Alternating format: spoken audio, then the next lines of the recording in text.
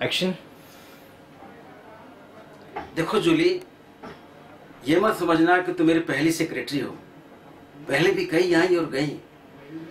लेकिन, ज़िंदगी में आगे बढ़ना है तो अपने बहुत से थोड़ी समझौता तो करनी ही पड़ेगी। मैं ये नहीं कहता कि हर रोज तुम 6 पीएम के बाद ऑफ़िस में बैठो, लेकिन वीकेंड में फ्राइडेज को कम से कम। मेरे साथ एक आध घंटे। ज़्यादा नहीं। देखो, बुरा मत मानना। एक टैक्टिस है, ये वे ऑफ़ लाइफ है। ज़िंदगी में तुमको आगे बढ़ना है तो इस कीके से थोड़ी तो समझौता करनी पड़ेगी।